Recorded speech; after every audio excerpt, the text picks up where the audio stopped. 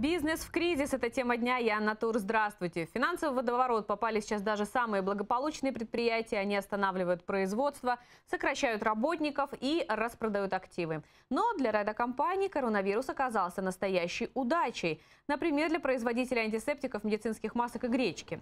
Сейчас только ленивый не шутит на тему панических настроений покупателей, которые сметают крупы и макароны с магазинных полок. Какие продукты и сегменты бизнеса будут расти в кризис и как нужно менять продуктовый портфель и менять свое поведение. Об этом нам сегодня расскажет Азамат Синчурин, маркетолог. Азамат, здравствуйте. Здравствуйте. Спасибо, что к нам пришли, выбрали время и, слава богу, не закрылись дома, потому что сейчас будет важная очень информация. Для начала хотела спросить, вот то поведение, которое сейчас у нас наблюдается, а оно, как мы понимаем, не только в России, сообщения из всех стран мира буквально приходят, что люди панически затариваются разными продуктами. Это какое-то особое поведение потребителей?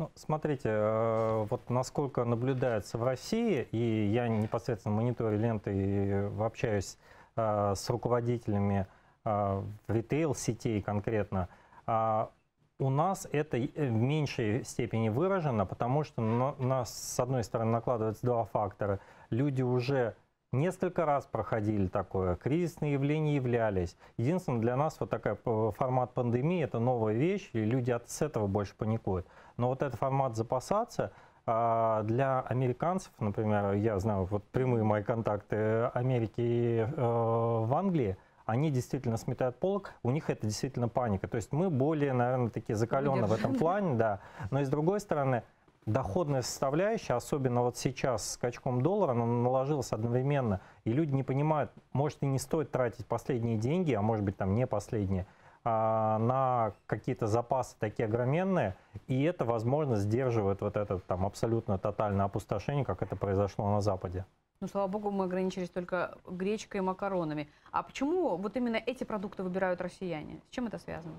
Ну, слушайте, мне кажется, это достаточно такая генетическая память, и плюс э, в этот момент э, люди обращаются, это, скорее всего, влияние чуть поколение постарше. Старшего, да. да. И еще такой момент может сыграть, что не только это тушенка и гречка, наверное, потому что люди обращаются в сторону там долгоиграющий продукт, который подлежат там, длительному хранению. Потом уже это хранится достаточно долго, в том числе и мыло, и спички, и соль. Что в этой ситуации делать бизнесу? Потому что я так понимаю, что торговые сети, ну, во-первых, они больше всего столкнулись с этим движением, да, коронавирусным, а, но они, мне кажется, наиболее гибкие а, в принятии решений, либо их тоже подстерегают какие-то опасности. Ну, смотрите, а, здесь все-таки надо понимать, что они находят, мы, в принципе, все находимся в одной лодке, нельзя обвинять э, сети, что они а, там сейчас на этом наживаются, вообще они сдерживают очень большой удар. Угу. А, и э, показывают, что у нас вот склады, они заполнены, есть запасы, ребята, то есть не обязательно. Потом есть такие ходы, которые они идут навстречу, там вот тот уже паникерский пакет они складывают в тележки, пишут готовый, ценник конкретно. Готовый, да? да потому что люди действительно, там вот есть такое некое социальное дистанцирование, люди не хотят проходить весь круг, они хотят просто взять и, и выйти, да. А, поэтому Здесь сети, они сдерживают. Я думаю, э, как бы вот эта история, она подтвердится спокойно заполнением полок. И дальше, вот как с банкоматом было, там, снимайте все деньги, банк схлопнется. И когда вот банк, он выдерживает вот эту волну, он, в принципе, вот сейчас сети в такой же ситуации. А, если с ним будет все плохо, с нами тоже будет плохо. Поэтому, собственно... Не раскачивайте лодку. Ну, не то, что не раскачивать лодку. Я думаю, здесь как раз проблем быть не должно. А, собственно, они стараются по максимуму, и я думаю, сейчас они просто сдержат некий такой наплыв. Что бы вы дали, какие советы дали бы сейчас бизнесу, который работает, смотрит за этими э, историями, особенно бизнесу, который в офлайне, да, которые не могут себе позволить доставку продуктов, которые не могут дистанционно оповестить всех своих клиентов, как и теперь меняется их режим работы. Те, которые здесь и сейчас, кофейни, например, рестораны, бары, у них сейчас очень серьезная ситуация, приходится и кредиты выплаты по кредитам отсрачивать, да, и какие-то дополнительные меры вводить. Вот что бы вы им посоветовали ну, смотрите, сделать? я буквально о природе кризиса. Сейчас это э, не в чистом виде экономический, экономический кризис. Да, об этом а, это эксперты. чисто э, сильно управляемый политический момент, причем не на, на уровне России.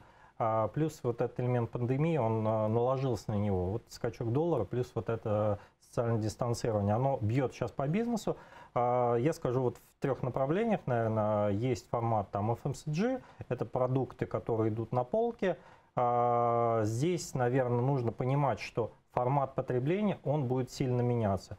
Вот э, чисто потребительская модель, э, люди покупают или большим объемом, или покупают чисто стандартный продукт, вот стандарт-стандарт, сахар-сахар, но без брендинга, да, допустим, или какой-то брендовый продукт. И вот как показывает опыт 2008 года и 2014 года кризиса, э, модель потребления, она становится как песочные часы.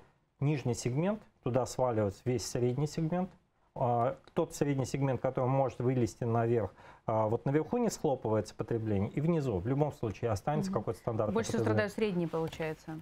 Которые ни туда, ни сюда, они действительно, вот цена-качество, мы как-то балансировали, вот это все схлопывается, и нужно точно понимать, от чего лишнего нужно избавляться, и продукты, формат получится такой же. Плюс вот сейчас вот этот формат социального дистанцирования, а, большая доля появляется онлайна. И если вы не представлены в онлайне, не вы имеете своих каналов продаж именно в таком, вас по сути нету. То есть ну, люди перестают вас ходить физически, просто. хотя бы какой-то промежуток это продержится. А, придумывать все, что угодно. Есть службы доставки, у которых есть свои портфолио, каталоги, входите туда. Вот что бы я посоветовал в части продуктового портфеля. А, однозначно сделайте а, ранжирование своего портфеля. Если это сильный бренд, продвигайте эту ценность. Если нет сильного бренда, спускайте, убирайте все лишнее, упрощайте упаковку. В том числе работает такая вещь, как family паки. Вот, например, может, видели, э, есть шампунь с дозатором, а есть просто флоу-пак, да, он просто да? доливается в ту упаковку. И вот такие умные решения в сторону потребителя, это вот где-то идти навстречу. Это будет точно работать. Все форматы онлайн-сервисов сейчас они на взрыве, это хорошо. Что касательно, вы сказали, кофеин сервису. Поймите, что люди сейчас боятся, они будут достаточно долго еще бояться. Вот, э, долго это э, сколько? Месяц, два? Это сложно сказать, но такой ощутимый промежуток, точно не один календарный месяц, э, придется вот сдерживать вот эту До историю. лета, в общем. Не знаю, посмотрим. То есть у нас лето ближе, в Центральной России подальше, но э, сделайте формат, то есть вот сейчас развивается такой формат в Москве Dark Kitchen. Это когда у тебя нет зала, но у тебя есть готовка плюс доставка. Вот этот формат э, нужно к нему. Это для ресторанов, да? Ресторанов в том числе придумывать. Э, например, если это плюс окошки выдачи, люди готовы покупать из машины, но они боятся заходить внутрь. Большие а, залы, да. Большие залы. Э, что может работать в, сфере развлечений? Сейчас каждый артист он придумывает по-своему. Массовые мероприятия они, во-первых, запретили, но в любом случае а, например, концерт позволяет там некое иное количество, это еще пока не было таких больших запретов. А, в Москве прошел концерт, два раза по 5000 да, человек для того, чтобы... Все же посмеялись да. по этому поводу. Потом, э, возможно, вместо кинотеатров появится и разовьется, вернется формат э, автокинотеатр что-то подобное креативное нужно будет делать, потому что стандартного продукта уже не будет. Как вы относитесь как маркетолог к бесплатным акциям, которые устроили все э, интернет-каналы, например, э, в том числе и сервисы по продаже электронных книг и аудио, в том числе книг? Это хорошо, это плохо. Как быстро люди к этому привыкнут, и сложно ли будет вернуть прежние позиции, увести людей на абонентскую плату? Ну, э, представьте, вот есть пласт э, людей, которые, в принципе, на рынке есть. Есть э, доля людей, которые уже потребляли эти сервисы.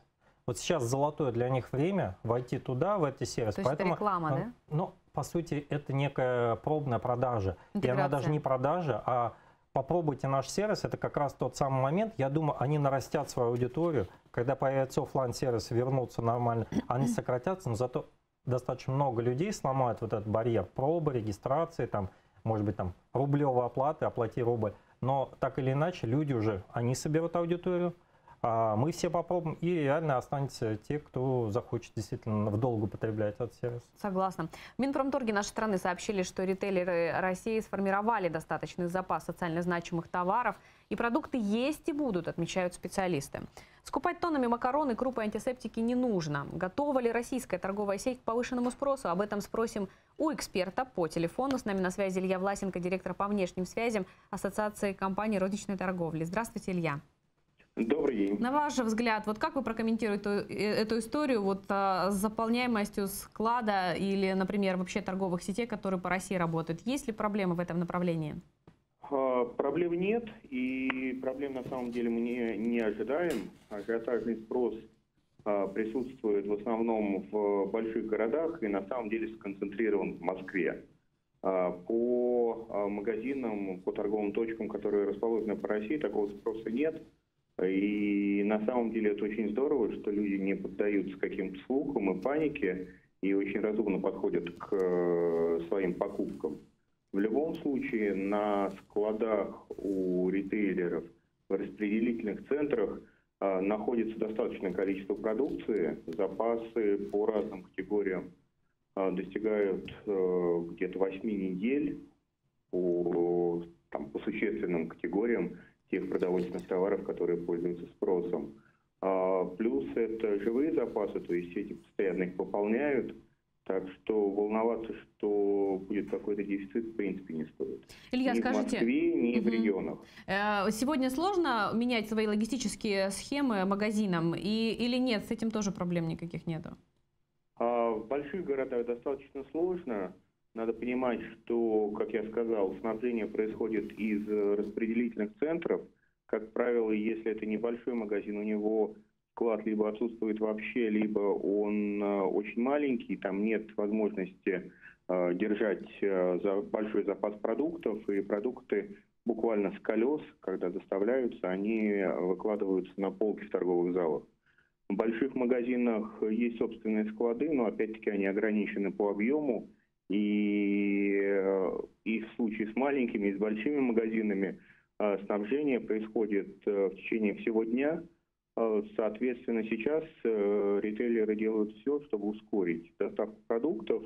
И по тем э, категориям, если мы говорим про Москву, это крупы, макароны, средства личной гигиены, по которым есть ажиотажный спрос, пополнять запасы так, чтобы пустые полки не встречались даже там, в случае каких-то больших да, распродаж. Да. Спасибо вам большое, Илья, за комментарий. Спасибо. Азамат, очень мало времени у нас остается. Что делать бизнесу мы рассказали. Что делать покупателям в этой истории? Ну, смотрите, э, я все-таки еще раз призову э, включить такое отношение и не паниковать. Э, да, потребление будет падать, и вот эти еще моменты катаклизма, они будут такое среднесрочное, mm-hmm. они быстро не поменяются. То есть менять свою модель потребления, но, собственно, и относиться к бизнесу в том числе э, достаточно лояльно, потому что бизнес действительно тоже, он и выкручивается, но он еще вас обслуживает.